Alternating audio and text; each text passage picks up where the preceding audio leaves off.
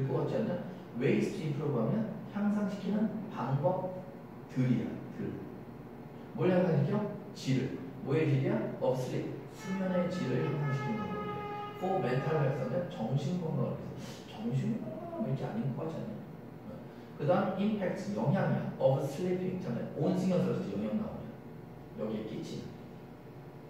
영향들. 몸의 체온에 끼치는 영향들. 왜? sleeping in a cool room. 차가운 방에서 자는 것에 영향들이야.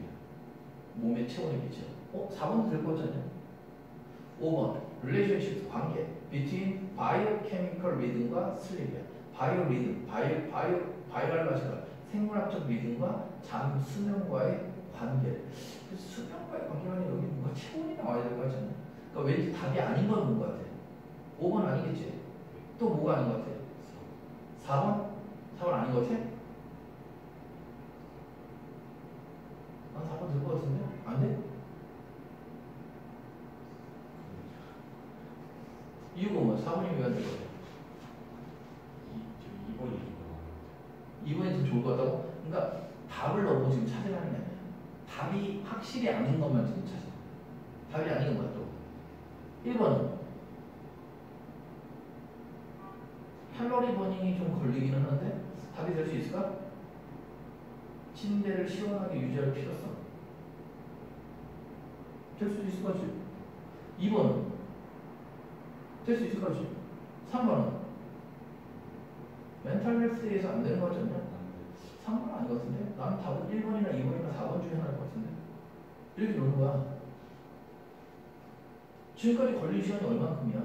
여기서 이렇게 쭉쭉 보고, 걸린 시간은 기껏해야 길어야 1분이네요. 그러면 여기서 우리는 뭘 생각해야 되냐면, 아, 이게 필요성을 얘기해야 되냐? 아, 이게 필요하다는 거냐?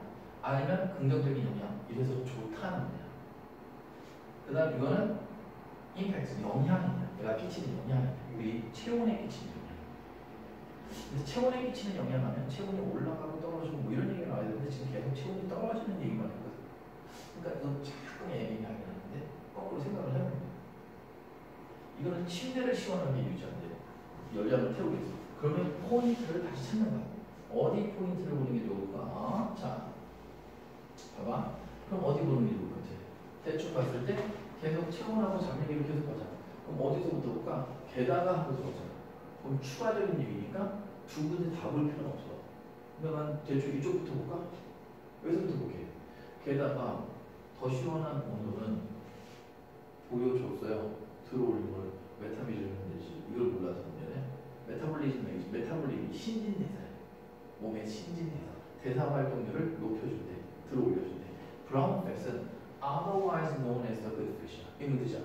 그렇지 않다면 좋은 지방으로서 알려지는 brown fat은. brown fat 좋은 거 나오는 거야?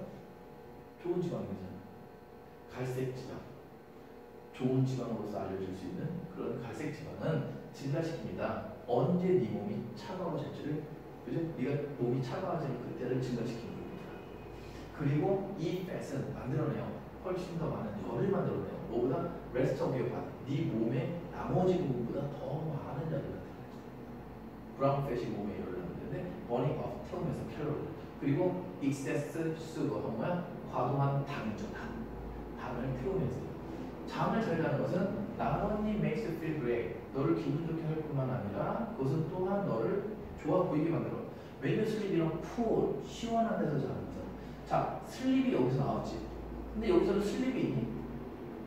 시원한 온도가 이런 대, 대사를 보여준다라고 얘기했고 뭐 brown fat에 대한 얘기가 나왔잖아 잠자는 것만 국한되는 거는 좀 아닌 것 같기도 하지 중요한 건 포인트가 뭐야? 시원한 거야 시원한 거 Sleeping well not only makes you feel great, but it also makes you look great.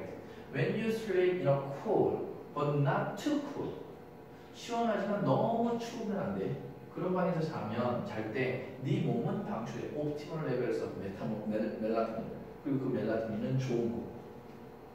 그러니까 시원한 방에서 자면 네 몸이 더 좋아진다는 얘기네. 근데 잠만 얘기는 아니고 좀 몸이 차가운 게 좋다는 얘기네.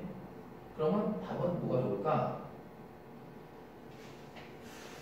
침대에 시원함을 유지시킬 필요성 칼로리를 태우기 위해서 칼로리 태우는 것만 국한되진 않지 칼로리 태우는 게 살짝 나오긴 했지만 긍정적 영향들 잠자는 것에 시원한 환경에서 잠자는 것에 좋은 영향. 근데 잠만 국한되는 건 좀 그렇지만 어쨌든 시원한 환경이 좋다는 얘기를 한것 같아. 2번은 아직 물음표 4번 임팩트 영향들. 잠자는 것. 시원한 방에서 잠자는 것이 몸의 온도에 끼치는 영향. 시원한 데서 자면 몸이 어떻다 저떻다. 몸의 체온에 끼치는 영향. 그럼 체온에 관계된 얘기만 해야 되는데 아니지. 오히려 이거는 체온이 낮아져서 더 신진대사율도 좋고 좋다라는 얘기지 그러니까 시원한 방에서 자는 것이 몸에 체온에 끼치는 영향이 아니라 답은 뭐가 되겠어? 2번이 더 좋지 2번이라 생각했냐? 음. 그러니까 이런 것들이 지금 보면 어떻게 보면 여기가 애매하게 비슷하게 쓰이면서 함정으로 존재하는 거야. 어, 이런 것들을 포인트를 딱 잡아서 정확하게 풀 수 있어야 되거든. 정확하게 그 포인트가 어, 얘는 왜 안 돼? 2번 왜 2번이면서 왜 4번은 안 돼? 왜 1번은 안 돼? 에 대한 명확한 생각이 자꾸 잡혀져야 돼. 이유가. 아 4번은 안 되는 이유가 시원한 방에서 하는데 body temperature 끼치는 거예요. 그럼 지금 체온에 끼치는 거예요. 시원함이 체온에 끼치는 거예요. 포인트는 시원해서 몸에서 어떤 반응이 나서 더 건강해지고 외모가 좋아지고 이런 얘기까지 나왔는데 체온에만 국한된 거야. 그래서 다 보는데 걔가는 어. 1번은 침대를 시원하게 유지하는 거 이거 나 칼로리 버닝 거 일부만 나왔으니까 그것도 안 되는 거야. 알겠지?